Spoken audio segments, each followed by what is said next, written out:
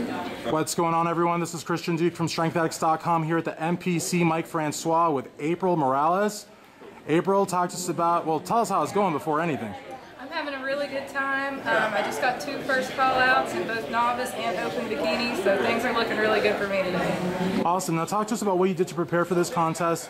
This is not a small show by any means. It seems like there's like waves and waves of competitors, but it's not just quantity, there's a lot of quality here. So, what did you do to prepare for this? Um, I did two 45 minute sessions of cardio every day, and four times a week I would weight train on top of a really, really strict low carb diet that has kept me really depleted and in ketosis.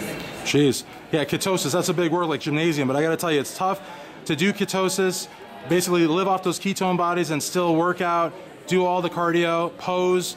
Um, what would you say would be something that really kept you going? You know, like what, what's something that really just, what was a carrot for you? Well, the way I look at it is that there's always some girl out there that's going to do it better than you if you don't give it 100, so I wanted to be that girl that gave it 100. Excellent.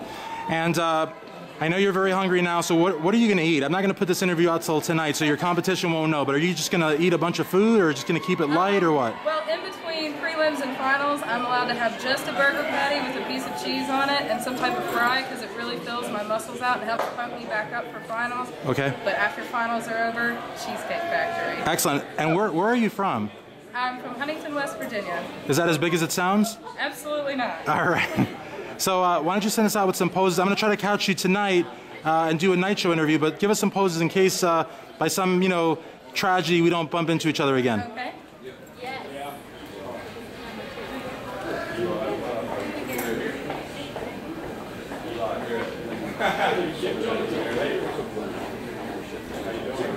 Awesome. Well, I know you're going to do real well.